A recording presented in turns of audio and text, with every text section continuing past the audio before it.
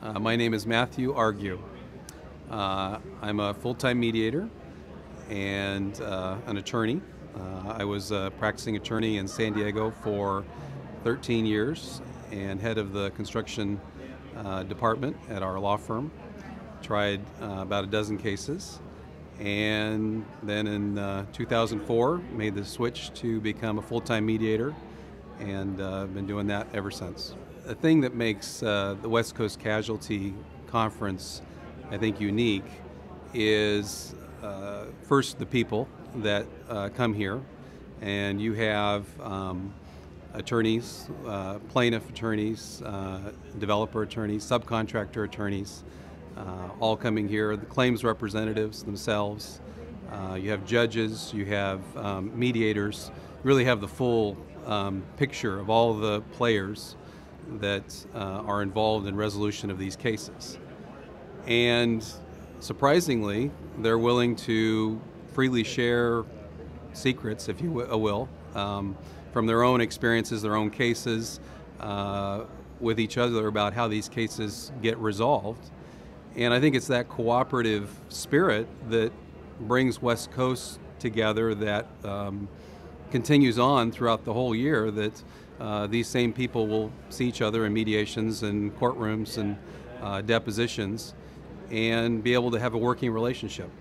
You build bonds, um, maybe like unlike other areas of practice, it's a close knit community. Um, and I think people enjoy being a part of it, and there's accountability there. Um, you know that you're going to see these people, um, but there's a, there's a free exchange that makes these cases work because they're just too large and too complex to work if people aren't trying to uh, work together.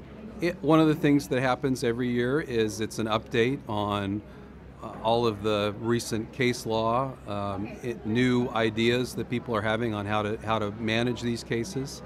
Um, certainly take that away. That um, if, if there are new approaches, uh, you're going to hear about them here, and um, the people uh, you may not see them every day, but you're renewing those relationships and confirming, um, you know, you're, you're continuing to work on these kinds of cases.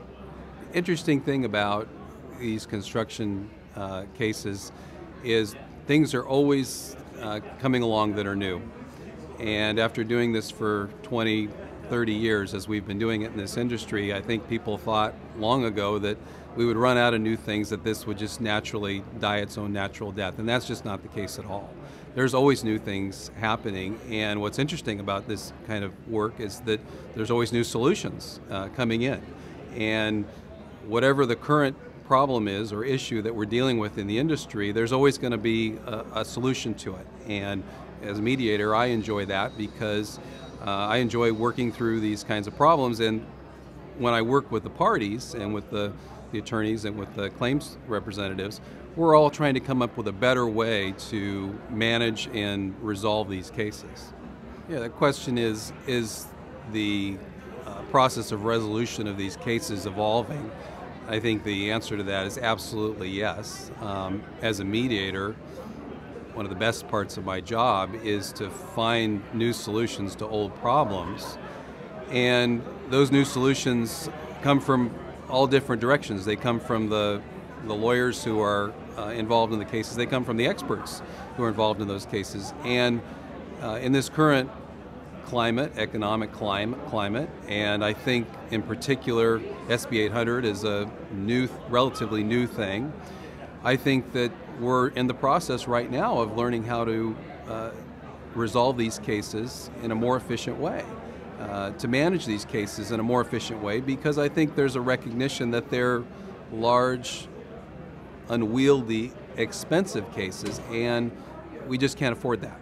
As an industry, we can't afford that. What I hear more often from a mediator standpoint is it takes too long, too many mediations to get the cases resolved.